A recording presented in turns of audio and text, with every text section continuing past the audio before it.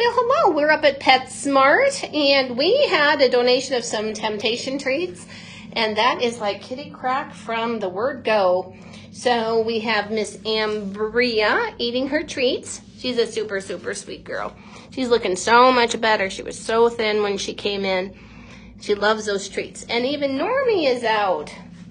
What a nice surprise. Hi, Normie. And Normie's eating his treats too. Hi.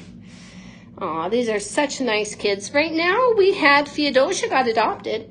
So now we've just got Normie left up here and Ambria from that property. We didn't put anybody in today um, just because it's kind of toxic up here with Ollie. Ollie wants to be an only cat and oh, he likes to raise a ruckus. So we'll go in and visit Ollie. Lovable, lovable boy. If you sit down on the floor or sit down on a chair, he's on your lap. We didn't know if he was, but the girls test rolled him up here for us. And here's the vocal boy. There's Ollie. Hi, bud. He is such a nice cat. He's a big boy, and he hates being up here. He's very lonely. He has to be in a room in the middle, what we call the kitchen, because he's just being a pill with everybody else. So this is Ollie. So if you're looking for a single kitty only household, this would be your guy. And he is. He's just a love. He's a big, big lovey boy. He just wants to have his own family. I don't blame him. Yeah. Yeah, do you want some more? He had some treats too. Not like he really needed them, but he loved them. So here's some more treats for little Ollie. There goes. Oh, he's vocal. He has lots of stories to tell. That's for sure. So that's Ollie. And then I'm going to go into the living room, what I call the living room at PetSmart. And beautiful Bijou. If you like calico, she's your girl. She's very petite. Whoopsie, I just flipped it. That's not going to help at all. Let's try that again. Ah, I don't know what button I hit, so I'm gonna stop this one. See if I can do it this way. Hey, there we go. Odd way to do it, but there we are. So she's gonna get her little treaties. That's Bijou.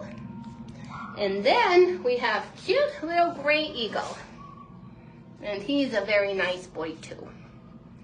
So if you're looking for some new friends, this is where you need to come.